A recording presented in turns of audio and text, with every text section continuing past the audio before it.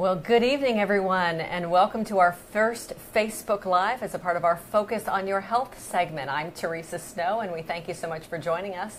I'm joined by Dr. Mark Hunter of the Ellis Fischel Cancer Center. It's a part of MU Healthcare. Welcome. Thank you, Teresa. Thanks so much for joining us. This is in partnership with KRCG TV. Our Focus on Your Health segment can be seen every week on KRCG, 6 o'clock Wednesday nights, 6 a.m. and noon on Thursdays, and it helps us uh, prompt into these great discussions about uh, different topics of interest to viewers and to our patients as well. Well, Dr. Hunter, you're the director of the Women's Cancer Center of Women's Cancer Care at Ellis Fischel Cancer Center. And tell me a little bit about yourself. What types of cancers uh, do you treat? Tell me about your patients. Well, thank you again, Teresa, for giving us the time to discuss these important topics. So, I specialize in the treatment of women's cancer. So, that includes women's uh, cancer of the reproductive female tract, and that really includes vulvar, vaginal, cervical, uterine, and ovarian cancer. Are there any that you see more of uh, in your patient population? I tell you, in mid, uh, where I trained in, in, in LA, a uh, great deal more ovarian cancer. But since coming here a decade ago, I see quite a bit of uterine cancer. In fact, the majority of our patients are uterine. We still see all those other cancers here, uh, but a, a, good number uh, of cancers of the uterus. So we welcome Dr. Hunter to our community talk here for our Focus on Your Health segment because you've had a real passion in cancer care and nutrition. You've given community talks around the area and you speak to your patients every day about good nutrition and cancer care. Why the passion for this particular topic? Well, Teresa, really my passion is in preventing cancers. I want to put myself out of business by uh, passing this information on to as many people as we possibly can. I, every day I spend uh, holding the hands of people who are genuinely suffering uh, and, and, uh, overcoming cancer. And uh, in that process, anything that I can do to prevent cancer uh, and prevent uh, one more patient from coming into our office with a surprising diagnosis, I would like to do that. when it comes to cancers of the female reproductive tract, they're all preventable in some way. And we could go through those five cancers that I mentioned and describe how each one has a pathway to prevention. It doesn't mean that all cancers are preventable, uh, but so many of them that we see are. So we're focusing on nutrition. Let's start with that preventing cancer with nutrition mm-hmm. uh, angle. What can we do as someone without cancer uh, as far as nutritionally to help put us in the best position to prevent cancer? Well, I think that we can really look at the prevention of cancer with nutrition uh, in two schools. So, really, there is the notion that there are specific foods that increase the risk of cancer. And so, when you look at uh, issues like uh, high fat foods, so when you think about high uh, fats that are, or foods that are high in animal fat, so we want to make a distinction between animal fat and uh, really uh, high quality plant based fats because they are very different from each other. So when you go to a fast food outlet and you uh, order uh, food, what you're really getting is a, an awful lot of animal fat, uh, and we call that the Western diet. So a Western diet is very high in carbohydrates, very high in animal fat, and clearly associated with an increased risk of, risk of cancer. But we hear about good fats. So That's what are right. those? So when you look at the good fats, they are high in omega-3s. They are uh, high in, in, in actual uh, constituents of those fats that significantly decrease the risk of cancer. They don't just decrease the risk of cancer, though. Uh, they, they seem to be associated with a regression for people who have existing cancer. Uh, not just that, but they um, uh, slow the aging process. Uh, they, we all want to do that. They, we do. They decrease, obviously, heart disease uh, and uh, uh um, uh, lots of, of, physical benefits. Uh, you asked what those fats are, so or at least what those foods are. And the answer uh, that I usually give to patients is that, that avocados and olives and nuts and seeds, and it seems to be uh, that those foods are, are, are, specifically associated with these health benefits we're, we're talking about today. So at the grocery store, my list should have those items. It should have all, yeah, absolutely. Uh, any plant-based fat. So you can you can read these natural uh, and really well, we're talking about fresh foods. And so as you start uh, as you start to uh, look at processed foods, the more processed a food is, the, uh, the the less health benefits associated with it. We did a story with KRCG that uh, prompted this specific Facebook Live talking about blueberries and the extracts of fruits and mm -hmm. vegetables and their properties to potentially uh, accelerate cancer treatments. you're seeing good nutrition sometimes as a working in collaboration with treatment. That's right. So what we're seeing really in the studies that we've been investigating, and, and you mentioned four years ago, uh, I had a, a, a, real shift in in my thinking on this. And so back then it was about eat what you want, life is short, enjoy it, live it up. I personally love hot fudge brownie sundaes, and I don't want to live a life without hot fudge brownie sundaes. So I'm not telling people you've got to eat this way, uh, or, you know, or or else. It's more a, a matter of balance. And so, uh, four years ago, though, we started pouring into the literature and asking the question Does nutrition actually matter when it comes to cancer care, not just for prevention, but for treatment or for patients who are fighting cancer at the moment? And it's clear that the medical literature has a good body of work that, that, that does demonstrate just that that there are certain specific patterns of eating that uh, not only prevent cancer, but they actually uh, work in conjunction with the very latest cancer treatment technologies. Here at Ellis Fischel, we use uh, everything at our disposal, the very, very latest technology. And that includes um, robotic surgery. So mm -hmm. I will mm-hmm. diagnose mm -hmm. a mm-hmm. patient with cancer, I will bring them in, we'll do a complex, uh, minimally invasive robotic staging operation. And then the, the reason I picked GYN oncology is because it, that allows me to then to switch hats and in the clinic become their medical oncologist, where we're prescribing chemotherapy, we're prescribing hormone therapy, the very latest biologic therapies, and doing research that leads to the next newest therapy.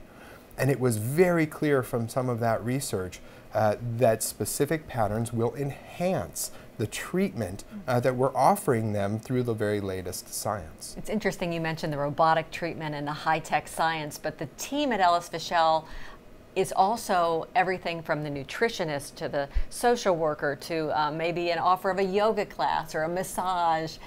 There's all these other things that are part of that lifestyle um, treatment. Oh, absolutely. It is really fascinating how much data there is now.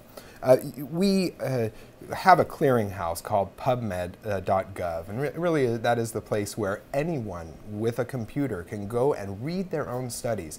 If you put meditation into PubMed.gov, you'll find 4,000 articles in the medical literature on the health benefits of meditation. The true is that is also true of yoga, and that's where we get a lot of this information on, on, on cancer. You mentioned the blueberry study there is a, a good amount of data that, uh, like those types of studies, in patients, in animal models, and in, uh, what we call the, the bench research that, that you mentioned, uh, where these uh, foods enhance cancer treatment and de decrease the rates of recurrence. Let's talk about those common advice that you give patients. You told me earlier that it used to be you'd tell patients, eat whatever you want. You have cancer, it's a very difficult time mm -hmm. uh, to get through now you're telling them something different. Yeah, I mean, it's, it's still a matter of not feeling guilty. Uh, I, I, went through a phase where all of this information was so overwhelming for me. I just wanted to passionately tell everyone about it. And I feel like that passion was also leading people to feel, you know, maybe this cancer is my fault. And, and that is not at all the case. Really, cancer is such a multi uh, process that it involves so many variables that uh, nutrition really is just one of a great deal of variables. Uh, I do want patients to know that they can make a difference. And, and really this concept of treating cancer with nutrition empowers patients. It gives them something to do. Mm -hmm. It mm-hmm. gives them their families something to do. Instead of uh, families now, you, you, know, when they used to say, you're not eating enough, you just you have to eat more, you have to eat more. Uh, what we're really trying to say is actually that's not necessarily true. It's not um, getting your family member to eat more, but getting them to eat well, eat the right things, and uh, in doing so, they're they actually are enhancing the cancer treatment, both the quality of life for their loved ones with cancer and the quantity of life. So if you have a loved one with cancer or you have cancer, uh, some people will enter that, that, that journey overweight, some will mm -hmm. enter it underweight. How would they face it differently? You mentioned having good nutrition, but there's specific challenges if you're overweight, would you want to tackle that at the same time or underweight? They, they really, they those are definitely different. And, and uh, the, I mentioned that I, I primarily, well, I, that we have a lot of uterine cancer here mm -hmm. in, in mid-Missouri. And, and one of the reasons is uh, the amount of energy storage that people choose to keep on them. Um, I don't like to use terms like obesity because I think that labels increase the, the really the guilt and shame associated with a particular lifestyle. People choose how to self medicate. People choose what to use to make themselves feel good. Mm-hmm. Sometimes it's food, sometimes it's shopping, sometimes it's smoking, sometimes it's exercise, sometimes it's reading. Yeah. Some of those, from a health perspective, are more uh, let's just are say productive. yes. uh, but it's still yes. a personal yes. choice. Uh, but I will make the specific point that an, um, a large amount of energy storage uh, is associated with an increased risk of, risk of cancer across the board. When you take uterine cancer, for instance, a um, patient with a large amount of energy storage uh, has a 620% increased risk for uterine cancer. So when I say it's preventable, that's one of the ways that it's preventable. If you decide, if you choose to have your self-medication, to, to live a life where you don't uh, use food as much as a form of self-medication, and therefore you decrease the amount of energy storage you carry around with you every day, you will greatly reduce mm-hmm. your risk of 22 cancers, not just uterine, but 22 others, uh, including ovarian and cervical cancer in my practice. Directly related to how you eat and uh, very, what, what you very, choose. very much so. What you choose. So if you're in a treatment for cancer and you uh, have a lot of energy storage, mm-hmm. is that the time to think about making that change? You're oh, saying absolutely. yes because it can help your treatment and help your life beyond. Yes, th- there is there is clear evidence that uh, reducing the cal- calorie intake, your overall daily calorie intake, uh, not uh, only prevents cancer but enhances the treatment of cancer. Now, that is a, uh, a, a thought that is taking some time to evolve it, it, has been in antiquity that we've taught patients when you're undergoing cancer treatment, it's not the time to lose weight. Um, and that may be true when you're actively undergoing radiation treatment, but even the data in that area is uh, uh, less than uh convincing. And so, really, what we're finding is that if you have uh, energy storage, a mm-hmm, significant mm-hmm, amount of it, that if you fast or if you reduce your calorie intake, uh, you will likely enhance the treatment effects. Uh, on top of that, uh, you again you slow the aging process, you decrease inflammation, uh, and uh, the list goes on.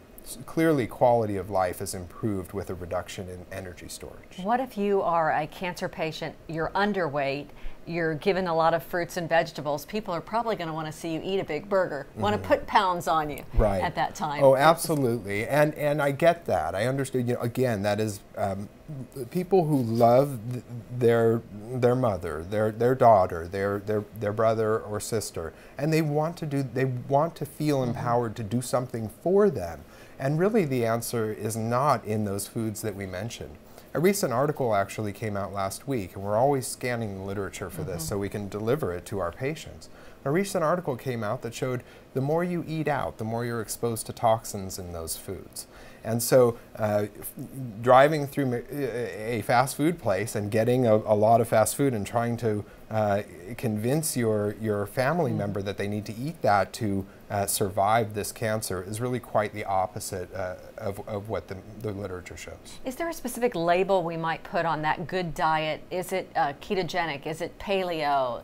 Is it Mediterranean? What, mm. what type of diet is it? Uh, that is a great question, and you know this is uh, they all have their their pluses and minuses. Okay. To be honest with you, it is quite clear that the Mediterranean diet is probably one of the, the best and well studied in the medical literature, and there is good evidence to show again med- the Mediterranean diet, lots of olives and lots of olive oil, and olive oil even as a, a dietary supplement uh, decreases the risk of cancer. Uh, when you look at things like uh, paleo and ketogenic I, I, I, will suggest that we do recommend a diet high in unsaturated plant based fats, which looks a little like ketogenic. But ketogenic doesn't necessarily specify animal versus plant, and I don't necessarily agree with that. Ketogenic is also very strict about dipping your urine for ketones and making mm. sure that your body is in a, a, a somewhat for, uh, form of starvation called ketosis.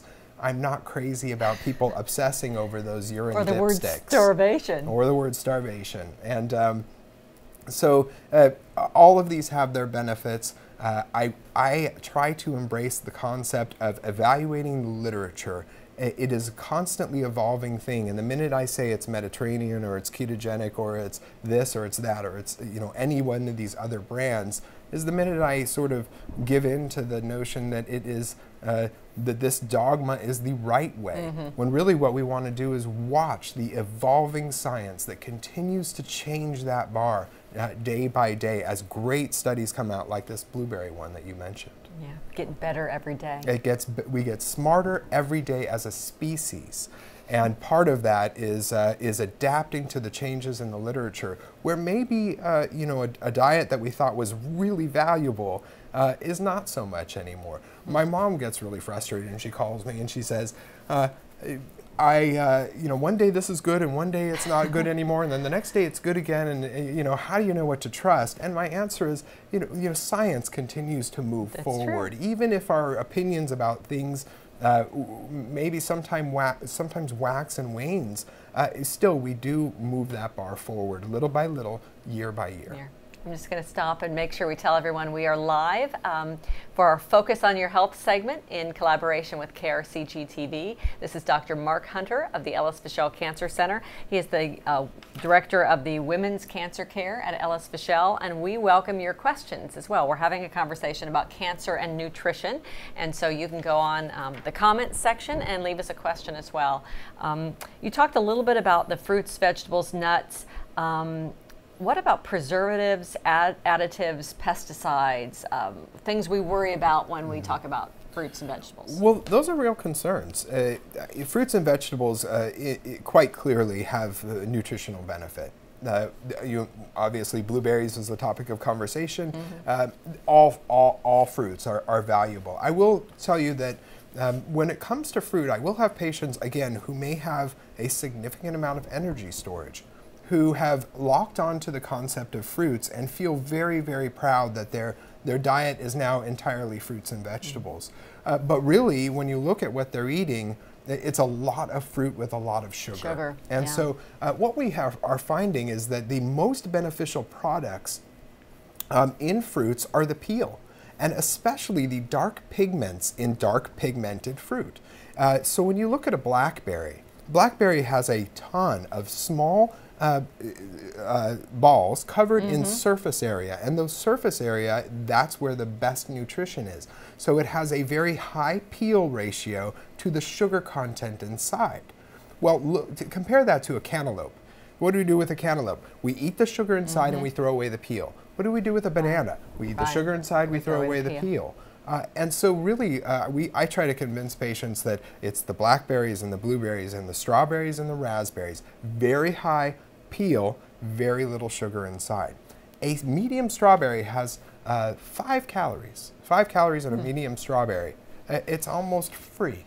Just don't dip it in the chocolate like yeah. well, I like the chocolate too, and I'll tell you that dark chocolate has a lot of health benefits well, to that's it. good so, to know. Uh, it's it's worth exploring. And then on the vegetable side, of course, um, most people uh, really feel that the, they're doing wonderful when they're eating vegetables, and but those vegetables are fruits. So I'm going to switch the questions just mm-hmm. because we have one from one of our viewers. Uh, Jennifer is asking, can we talk a little bit about good fats and bad fats and why it matters? We touched on this at the beginning of the conversation, but let's do go back to that. Uh, good fats, bad fats. Um, give me a description if I'm uh, eating out or mm-hmm. going to the grocery store. Oh, what's good, what's bad, and, and why do I care? Yeah, so um, really what we're finding is that most animal fats are not good fats. And, and, why is that? Well, may, maybe the saturated fat content, but we think there's probably more to it than that, even things that we don't necessarily understand. Um, I will make one exception to that. Uh, probably one of the better animal fats is cheese. So we went into this uh, in, into this research thinking, you know, cheese is the enemy. Cheese has really been demonized for most of my life, uh, you know, half a century. And really, when we started looking into the data, what we found is that aged cheese is actually quite good for you. There's there calcium in there. great calcium, uh, but really, this concept of fermentation seems mm. to make a lot of things good for you, a lot of things healthy for you. And when we look at sauerkraut, very mm-hmm. healthy. Really, almost anything fermented has some health benefits to it, and aged or, or good quality cheese does as well. So that's an animal fat. That's maybe a good fat. Um, when it's highly processed, and you get it in the packages and you get it in the slices, mm-hmm. it's, uh, it's less good for you. Is that because it has higher sodium or just really a higher fat content of that animal fat? You know, uh, uh, you mean why why uh, the processed cheese is mm-hmm. not as good? Well, we don't exactly know. It definitely loses a lot of its nutritional value and probably a lot of its antioxidants. And so that's not that is a word that gets thrown around a lot and we don't fully understand it. But the process of fermentation and the bacteria that create these these dry cheeses, they um, they produce good things for us in the bowel, we have those bacteria as well. Mm -hmm. And so we haven't talked much about the microbiome. And I do want to finish up on the, her, the question uh, what about good fats? And I'll uh, just uh, touch on that for a minute and then go back to the microbiome. Okay. Uh, we don't know why plant-based fats are, are so good for us. All we know is that in animal models, if we, if we separate uh, uh, animals with cancer into a Western diet, or a diet that is high in unsaturated plant-based fats, they, the animals clearly do better and their cancers shrink with these, uh, with these plant-based fats. Again, it probably has something to do with omega-3s, but that is not at all the, the mm. whole picture. Uh, when it comes to the microbiome, no, this now define that. I've not yeah, heard that term, microbiome. Microbiome, it, it, means the the whole entirety of all the bacteria in your body. So okay. we're actually made up of cells. And those cells, uh, fascinatingly, we have about 30 trillion, these numbers are rough, uh, roughly, 30 trillion mammalian cells. Uh, it, and that means that cells that you were born with. So that you, one cell became two and two we're became, mammals. Because we're mammals. So you have mammalian cells in your body, about 30 trillion of them. Uh, uh, but you are actually walking around at about 100 trillion cells. So where does the other 70 trillion come from? The answer is bacteria. Hmm. So you carry around these 70 trillion bacteria. What does that mean for us? They control everything. There's data now to show that if you eat a lot of starchy foods or you eat a lot of carbohydrates, those carbohydrates breed bacteria that love carbohydrates in the gut. What do those bacteria do? Well, think about it, they only eat back, they only eat carbohydrates. So if you overbreed a population of carbohydrate-loving bacteria in your gut, they will start to change your behavior. We now have data that show that they will send signals to your brain to tell you, eat more carbs. That's what we eat. We eat carbs. Please send us more carbs, and you will start to get hungry for more carbohydrates, which is why in my own life, if I decide to slip a little and I have a a burrito or some, you know, a sandwich, uh, within three hours I'm looking for a cookie or I'm looking for a bag of chips. True. That's part of it. It's These bacteria true. are controlling our behavior.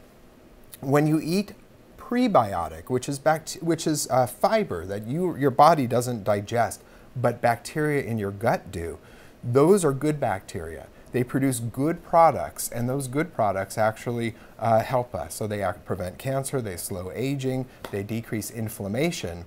Um, and they are uh, supported by the use of fiber. And so that's why it appears that fiber decreases the risk of all kinds of cancer.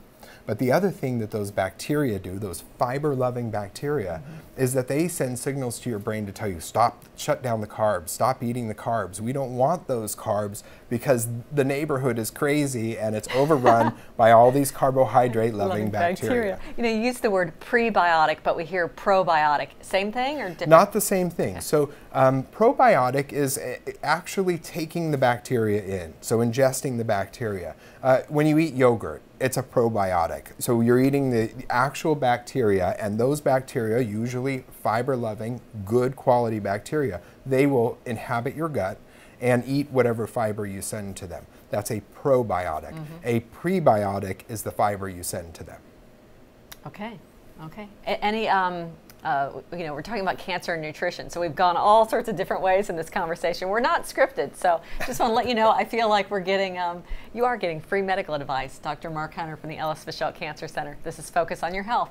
So this is very interesting. Um, you mentioned um, the good and the bad bacteria in the foods. You also mentioned fermentation. So I want to go back to that. I've had friends that uh, reach for the kombucha, which yeah, I'm not thrilled with the taste of it, but you mentioned sauerkraut. Mm-hmm. Are those the kind of fermented foods as well? That Absolutely. Uh, I love that stuff. And okay. um, it, uh, it, it's spicy, fermented, again, tastes a little like vinegar. Uh, cabbage is a, a, nearly perfect food. I mean, from the best that we can tell, cabbage is wonderful for us in every way. So when you ferment cabbage, uh, like in sauerkraut or uh, in uh, kimchi, I think is mm-hmm. another name for it, um, it, it, it, it, seems to be good uh, across the board. Okay. I don't want to wrap up without getting more questions from our viewers. This is a joint project focus on your health with MU Healthcare and KRCG TV. If you're watching and you have questions, uh, please enter them under the comments. I'm Teresa Snow with Dr. Mark Hunter. As well, this whole conversation, we're probably about, uh, I don't know how many minutes in we are now, but um, 25 minutes. We have about five minutes left. We'll wrap it up, but the whole conversation uh, will be on our Facebook page, so you'll be able to see it there. So um, we have about five minutes. Uh, we want to talk about the future of cancer and nutrition. Where do you see us going? Um, what will be the conversation with you and your patients uh, 10 years from now, do you think? Uh, that's a wonderful question, Teresa. I, really, what we have right now is a collection of uh, studies that begin to show us from a uh, theoretical basis why we think certain foods are good, from a uh, animal studies basis why certain foods are good, but really in cancer care uh, we're about randomized trials, and so okay. we don't really begin to absolutely trust data until we have compared it in the most rigorous scientific way those studies are hard to do in nutrition. You can imagine that people eat what they want when they go oh, home. A lot even, of variables. A lot of variables, even when they're enrolled in a specific trial to look at that. So it is not easy to study in a randomized fashion, but we are beginning to look at that. How can we compare patients with uh, undergoing standard, state-of-the-art cancer treatment and patients undergoing standard, state-of-the-art cancer treatment with a nutritional component. And those studies are really going to require a very large budget and many, many thousands of people who do their best to try not to alter their diet from the recommended uh, uh, version. Mm -hmm on top of that, it's about can we uh, provide these foods for people? It's not so easy to do. You mentioned pesticides and chemicals. Can we provide these very high quality foods to our cancer patients in a uh, uniform fashion, in a standardized fashion? And, and so I, I believe that 10 years from now, I will be having conversations with my patients that are really very uh, uh, well documented in randomized trials, not in animals necessarily anymore, but in people, translating them uh, in, into, into the care of people. And it's safe to say, let's study you eating more good food. That's correct. Yes. And, and really on top of that, the entire cancer picture is one where, you know, we are increasing our knowledge about cancer exponentially.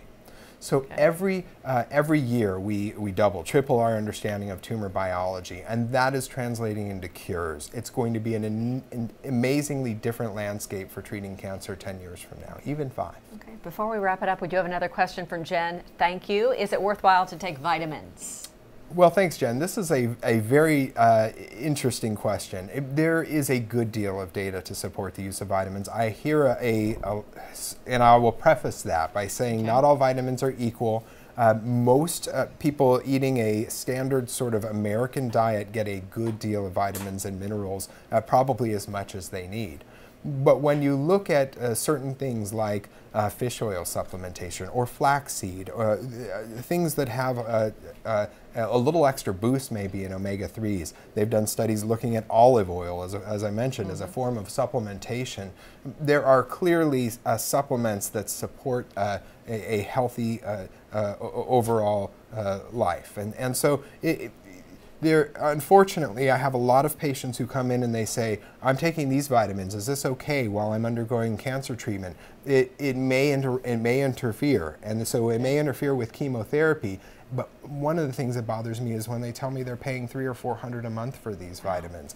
I really um, am, am, not in favor of that approach. And people who prey on, on, on patients uh, and their families who are suffering. We mentioned vitamins. You mentioned fiber before. Fiber supplementation? Very much so. Love it. Um, all fiber supplementation, uh, it, it, uh, it, seems to suppress cancer, several different kinds of cancer, heart disease. Uh, again, by telling you what to eat, those bacteria will shut down your carbohydrate consumption and decrease the um, uh, decrease your energy storage. As we wrap up this Focus on Your Health segment, we've looked at two things in cancer and nutrition nutrition for people who have cancer, and nutrition for people who want to prevent cancer. So let's just wrap up those mm-hmm. two angles. People who have cancer, what should they focus on when it comes to nutrition?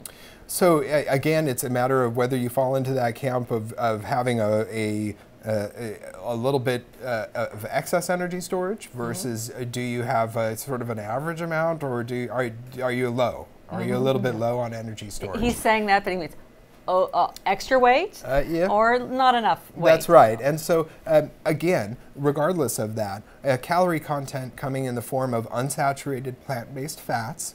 Um, and uh, veg- fruits and vegetables appear to be the highest quality uh, foods that we can eat. Uh, and if you've got extra weight, it's about, uh, it's about fasting. A- again, uh, plant-based fats is a great form of, uh, uh, of uh, nutrition for those patients, and you don't want to fast all the time, and you don't want to drop your weight too fast. but really, stay away from the carbohydrates. The carbohydrates are powerfully addicting. The, the brain looks at carbohydrates as morphine and it feels like morphine to our brains. And so uh, be careful of the carbohydrates. If you want to get rid of them, get rid of them completely. And if I want to prevent cancer, give me the grocery list. What should mm-hmm. I be buying? So, if you want to prevent cancer, it's about, again, olives, avocados, nuts, seeds, and the other thing we didn't mention is peppers and, and uh, um, herbs. So herbs and spices, they've all been tested. Almost all of them prevent cancer in the in, uh, in laboratories. And so spice, make your food spicy. Uh, I, we like to joke that uh, when it comes to the pepper and the pepper mill that comes to your mm-hmm. table at a restaurant, let them keep grinding until it gets awkward and weird and they start to uh, break a sweat uh, because you're, pe- you're peppering your food. And if you over pepper your food, you get the benefits of the pepper mm. from a cancer standpoint, but you eat less and maybe a little bit more slowly. I never thought of that. I'm very light on the pepper. I'll have to be a little more generous. And uh, last, you know, pitch for prevention. Uh, you know, I mentioned all five of the cancers we treat mm-hmm. are preventable. Ovarian cancer can be uh, uh, any, birth control pills at any time in your life, uh, particularly five years or more, uh, reduce the risk of ovarian cancer by 50%. uterine cancer is about, uh, as I said, staying relatively thin. Don't have a bunch of energy storage because that increases the risk of okay. uterine cancer. Cervical, vaginal, vulvar cancer, all related to smoking. And so you can prevent those cancers by not smoking, but also by getting HPV vaccine. So we've got cancer vaccines now. Uh, I saw a patient today with cervical, a new diagnosis of cervical cancer, and it pains me when that, when, to see that in 2018 when we have a vaccine to prevent it. And I'm guessing as well, have a conversation with your family about your family history of cancers. Absolutely. Uh, genetics is everything these days, and so we are monitoring our patients, not just their tumors for specific genetics, but um, their genome. So, mm-hmm. what were they born with? And it, I am absolutely passionate about that because if we identify one patient with a genetic defect that increases the risk of cancer, we've identified a wide family of those patients, and we can really prevent uh, cancers in patients in whom we know have a genetic predisposition to them family history, behaviors, good nutrition. You're just filled with so much good information. Thank you very much, Dr. Mark Hunter My of the pleasure. Ellis Fischel Cancer Center. Thanks for joining us for this Focus on Your Health. You can watch the entire interview um, on the Facebook page. Have a good night, everybody.